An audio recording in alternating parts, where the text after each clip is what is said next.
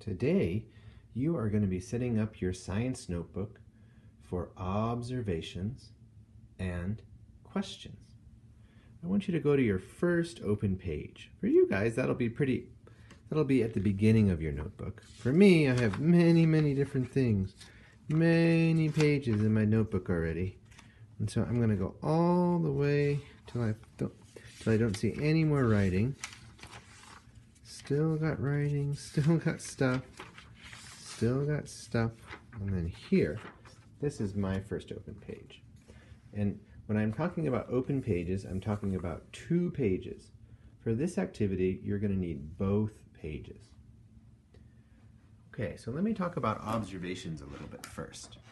Observations are when a person or a scientist or anybody really notices something and they think, hmm, that's interesting.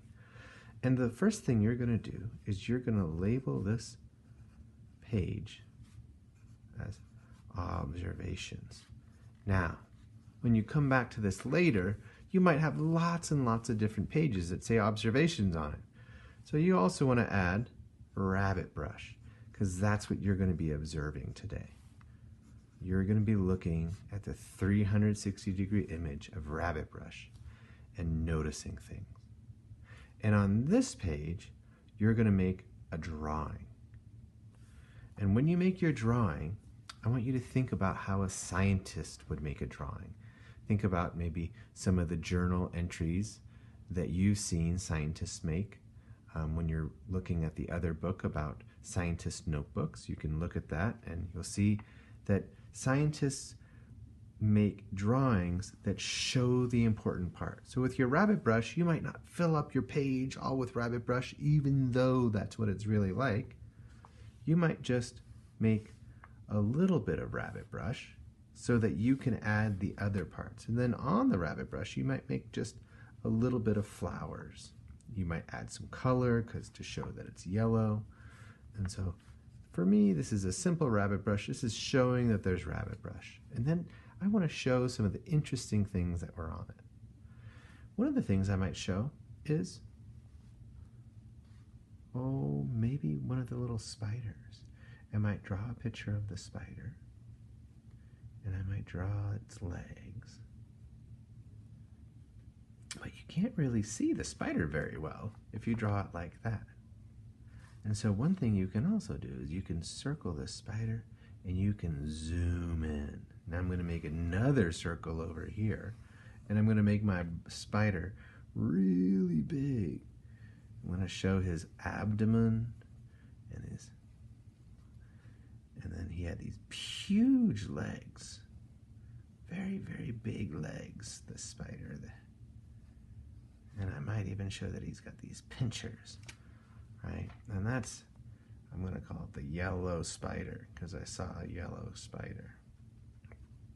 And now I'm going to now have space here to draw more insects that I saw. Maybe I'll draw another branch over here. And you see, I'm just drawing kind of sparingly, not too much stuff. And that way I can add the things and it doesn't become too cluttered. And so when you're doing your observation drawing, I want you to think about adding some labels, maybe doing some zooming, and most importantly, show the things that you observe. What are your observations? What's interesting to you? What do you notice? Now on this side over here, you're going to do some writing. And the first thing you're going to do is you're going to take this side and you're going to make a T-chart. Be doing lots of T-charts in your life in school because it's a good way to organize two things.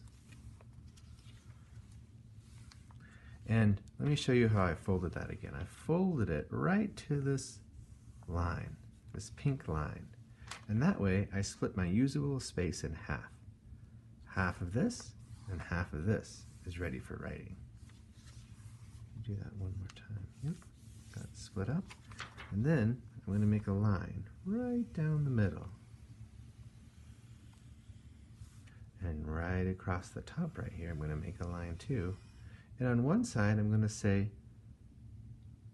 observations. These are the things I notice. What do I see? What do I hear? What do I smell? And over here, I'm going to write wonder. What are the things I'm wondering? And kind of like when we're doing reading, and I've had you jot down what you think. The wondering or the questions, those are the things that you're thinking. So you have to pay attention to that. So, one example might be um, when I looked at the video, I heard buzzing insects. A question I might have is why are they buzzing? Oh, and I know that your teachers and I are so curious about what other questions you have. The questions, this is where this is what's really going to direct the learning that we're doing. So make sure you write down the things you notice, the things you observe, and then the things you wonder, the questions you have. And so, just a quick review. On one side, you're going to have a picture of your rabbit brush observations. And on the other side, you're going to have a T chart with your observations and your wonderings. We're so excited to see what you do with this work.